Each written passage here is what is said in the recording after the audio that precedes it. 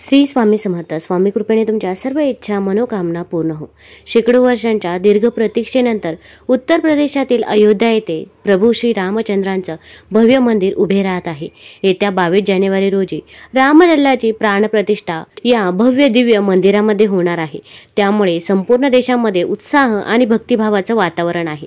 रामलल्लाचे दर्शन घेण्यासाठी प्रत्येक कुटुंबाने अयोध्या येथे यावं यासाठी घरोघरी निमंत्रण म्हणून अक्षदा वाटण्याचं काम काही हिंदू संघटना करत आहे. त्यामुळे जवळजवळ सर्व कुटुंबाच्या घरी या अक्षतारूपी निमंत्रण पोहोचू लागले आहे मात्र अनेकांना अयोध्येचं निमंत्रण म्हणून आलेल्या या अक्षदांचं काय करायचं असा प्रश्न देखील पडला आहे. कारण प्रत्येकाला लगेच अयोध्येला जाणं शक्य नाही.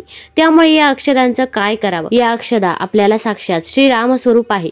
त्यामुळे या अक्षदा आपल्याला मंदिरात ठेवू देखील वाटत नाही.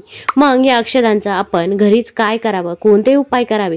ज्यामुळे श्रीराम आपल्यावरती प्रसन्न होतील व घरामध्ये आपल्या सुखशांती समृद्धी येईल. ही सर्व माहिती मी आज तुम्हाला या व्हिडिओमध्ये सांगणार आहे.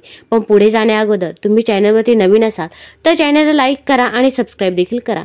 कमेंटमध्ये जय श्रीराम किंवा श्री स्वामी समर्थ लिहायला विसरू नका. येणाऱ्या बावीस तारखेला संपूर्ण विश्वामध्ये दिवाळी सण आपण साजरा करणार आहोत. पाचशे वर्षानंतर भव्य दिव्य अशा मंदिरामध्ये प्राणप्रतिष्ठा सोहळा होणार आहे. भारत देशातील प्रत्येकाने घर सजवायचे आहे मंदिर सजवायचे आहे प्रभू रामचंद्रांचे नामस्मरण करायचे आहे. अयोध्येतून प्रत्येकाला निमंत्रण पाठवले आहे आणि त्याचे काही अक्षदा कलश प्रत्येक जिल्ह्यामध्ये आलेले आहेत. आपल्या हातून कोणतं तरी पुण्य घडलं असेल त्यामुळेच या अक्षदा आपल्यापर्यंत पोहोचलेल्या आहे.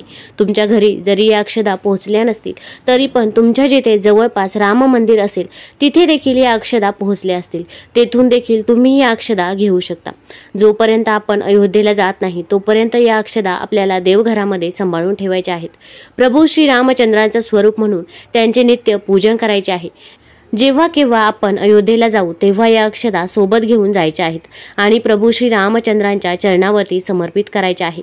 याच पद्धतीने प्रभू श्री रामचंद्रांचं मनोभावे दर्शन घेऊन आपल्या जीवनात संपन्नता सुख यावं यासाठी प्रार्थना करायची आहे. प्रभू श्री रामचंद्र मागील पाचशे वर्षांपासून मंदिराविना होते. बावीस जानेवारीला हा जो उत्सव साजरा होत आहे हा न भूतो न भविष्यवती असा उत्सव आहे. यामुळे सर्वांनी या उत्सवामध्ये सहभागी व्हायचं आहे.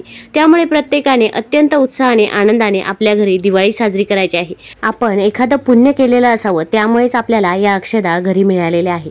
तर या अक्षदांचं काय करायचं? तर आपल्याला एक लाल वस्त्र घ्यायचं आहे. वस्त्र घेताना तुम्ही नवीनच लाल रंगाचे वस्त्र घ्यायचं आहे. या ज्या अक्षदा आहे त्या आपल्याला लाल वस्त्रामध्ये बांधून ठेवायचे आहे. मग तुम्ही हे लाल वस्त्र तिजोरीमध्ये ठेवायचं आहे. याची पोटली बनवायची आहे. ही पोटली आपल्याला तिजोरीत ठेवायची आहे. यामुळे घरात धन वैभव लक्ष्मी आणि भौतिक सुखात वाढ होते. घरात आनंदाचं वातावरण देखील राहतं. आपल्याला जर आर्थिक टंचाई जाणवत असेल भरपूर वेळा असं होतं की पैसा हा येतो पण स्थिर राहत नाही. अशा वेळेस तुम्ही या अक्षदा आवर्जून तिजोरीमध्ये ठेवाव्यात. कारण की या तिजोरीमध्ये ठेवलेल्या अक्षदा साक्षात श्री प्रभू रामचंद्र स्वरूप आहे. आणि आपल्याला त्या खूप भाग्याने भेटलेल्या आहे.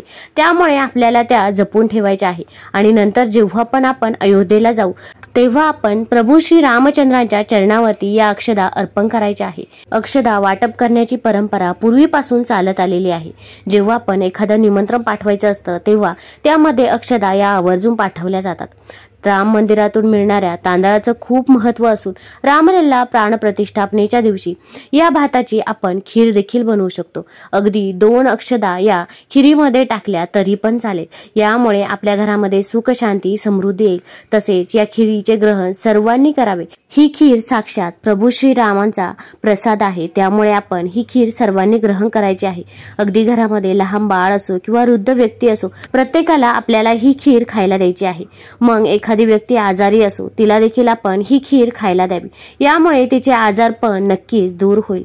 तसेच आपण या ज्या अक्षदा आहे त्यांचा आपण एखाद्या शुभ कार्यासाठी जात असो मग नोकरीसाठी असो किंवा आपलं एखादं काम आहे की ते खूप दिवसांपासून रखडलेलं आहे ते पूर्णच होत नाही ते काम पूर्ण करण्यासाठी देखील आपण जेव्हा बाहेर जात असो तेव्हा आपण टिळक लावतो त्या टिळकावरती दोन अक्षदा फक्त या लावाव्या. यामुळे प्रभू श्री रामचंद्रांच्या आशीर्वादाने तुमचं काम व्यवस्थितरित्या पार पडेल व कोणत्याही कामामध्ये तुम्हाला अडचणी आणि अडथळे हे येणार नाही. शुभ दिनी या अक्षताचा टिळक केल्यास तुम्हाला प्रत्येक कामामध्ये यश हे निश्चितच मिळेल. तसेच नववधूने या अक्षता स्वयंपाकघरात जेवण करताना वापरा. यामुळे घरात सुख शांती आणि समृद्धी देखील नांदेल. तसेच या अक्षरींचा वापर पूजा करताना किंवा कन्यादानाचं जर भाग्य असेल तर ते कन्यादानाच्या वेळी तुम्ही या अक्षदा वापरू शकता. यामुळे आपल्याला कन्यादानाचे पुण्य तर प्राप्त होणारच आहे. तसेच आपल्या मुलीचे देखील आयुष्य हे सुखी समाधानी होईल तिचा संसार देखील सुखाचा होईल. या अक्षदांचं खूप महत्त्व आहे. त्यामुळे आपल्याला या अक्षदा जपून वापरायचे आहे तसेच स्वयंपाकघरामधील तांदळाच्या डब्यात देखील तुम्ही या अक्षदा ठेवू शकता.